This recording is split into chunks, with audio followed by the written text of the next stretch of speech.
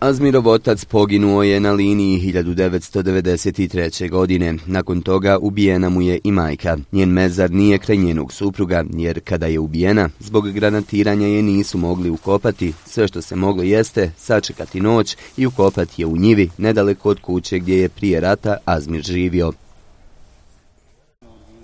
On sada pokazuje temelje srušene kuće, a nakon gubitka roditelja, brigu za njega i njegovu sestru preuzima njihova tetka. Tetka nas je uzela tu, nakon što je mati poginula, uzela nas je kod sebe i bili smo s njom i u, tu smo bili zarobljeni, tu svi koji sav narod u Srebrenici čekali neki izmještaj, neki da se prebacimo van Srebrenice. Trenutno živi u izbjegličkom naselju Mihatovići kod Tuzle. Pet godina sam sigurno tu već što se tiče nekih uslova, mm, dijelim sobu, kućicu koja je dvije sobe i dnevni boravak, znači dijelim sa čovjekom koji ima 50 godina, da li je bolestan, da li nije. No, ovo nije sve što Azmira tišti. Holandski vojnik Rob Zomer, koji je u ratu trebao osiguravati zaštićenu enklavu Srebrenicu, vratio se da živi tamo. Kuću je napravio na, kako Azmir kaže, njegovoj zemlji. Kako nema roditelje za Azmirov problem, zauzeo se njegov zet. Kaže kako je odmah na početku radova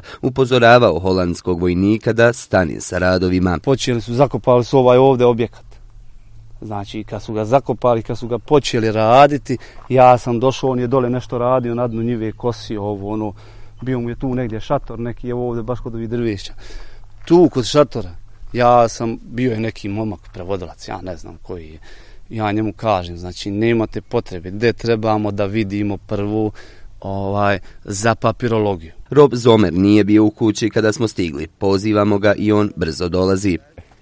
Ovaj mladić kaže da on ima papire koji dokazuju da je zemlja u stvari njegova, ne vaša. Da, govorio mi je to i ranije. Jeli, i šta ste uradili po tom pitanju? Ništa još. Zašto?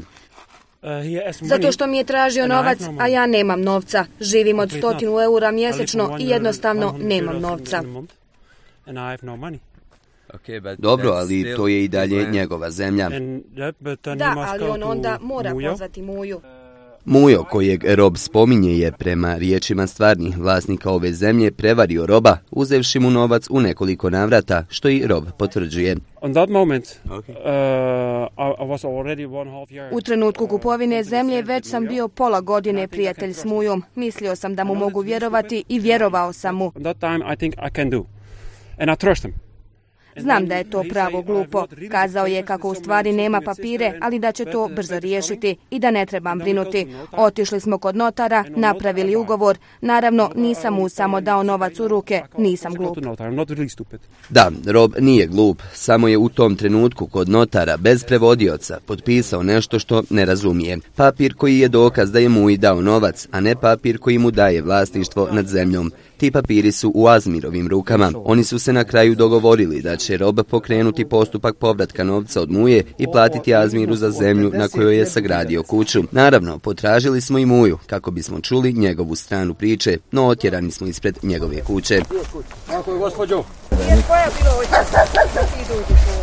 Samo vi zovite, ba nema problema. A dok se pitanje ove zemlje ne riješi, Azmir je i dalje u kolektivnom centru. Posla nema, a preživljava od onoga što dobije od tetke. Na kraju, zar da jedno dijete Srebrenice, čiji su roditelji svoje kosti ostavili tu, nema svog doma jer su ga zločinci uništili? Zar da jedno dijete Srebrenice postavi pitanje, postoje li dobri ljudi koji mu mogu pomoći?